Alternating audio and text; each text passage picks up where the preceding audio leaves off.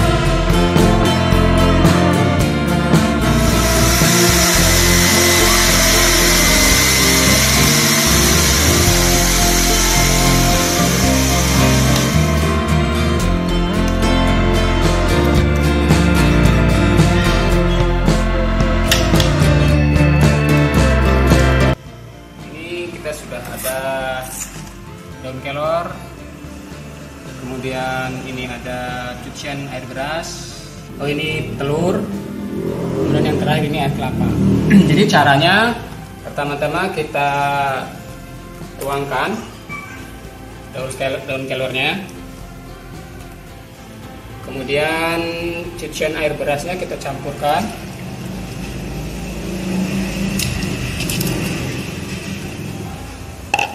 kita campurkan kedua bahan tadi air cucian beras dan juga daun kelornya ini bentuknya seperti ini.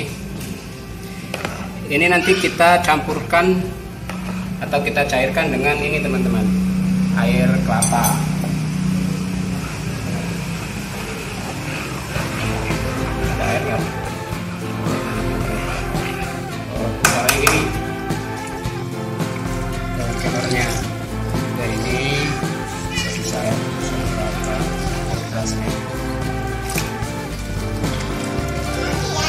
supaya tidak ada yang dibuang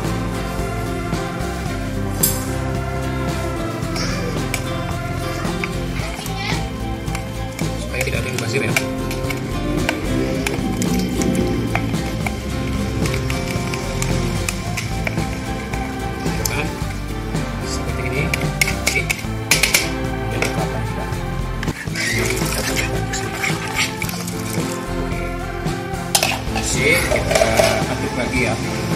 Oke. Sip, kita aduk lagi ya. Nah, ini sudah lumayan cair. tadi ya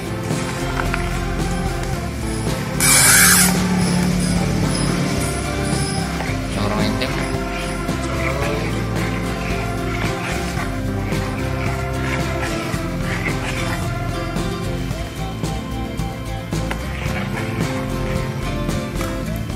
terakhir ini tambahan dari kita ya ini inisiatif dari kita sendiri. Kita menambahkan telur eh, supaya POC ini juga ada sedikit kandungan asam amino.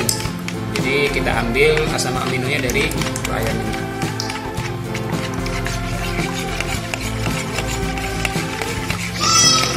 ini semuanya sehat ya teman-teman bahannya.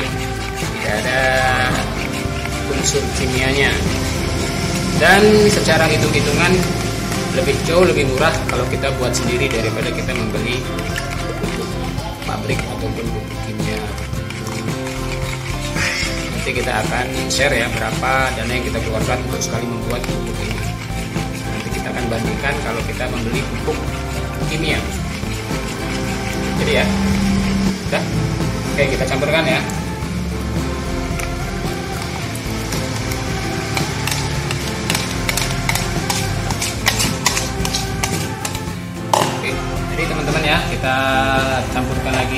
lagi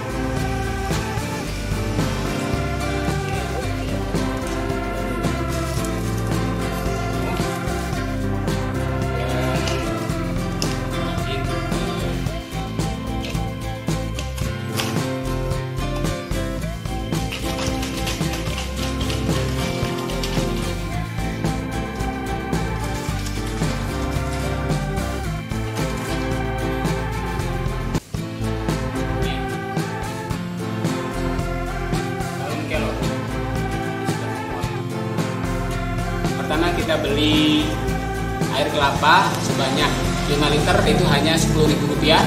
Kemudian telur kita beli setengah kilo hanya 12.000 dan yang terakhir kita mengeluarkan untuk eh, beras atau canting itu kurang lebih kalau dirupiahkan hanya 3.000 rupiah. Jadi totalnya kita hanya mengeluarkan dana sebanyak 25.000 rupiah untuk 8 liter POC ini. Nanti POC ini kita akan aplikasikan untuk tanaman alpukat durian dan juga kopi di lahan kita. Oke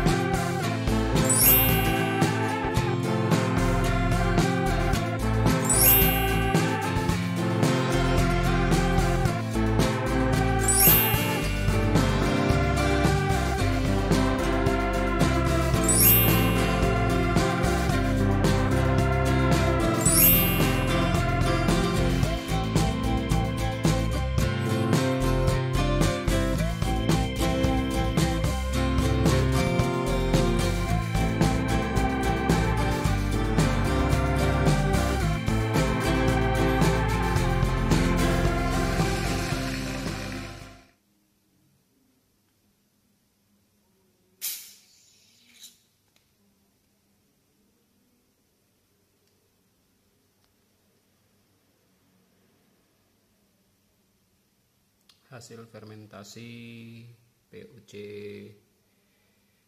daun kelor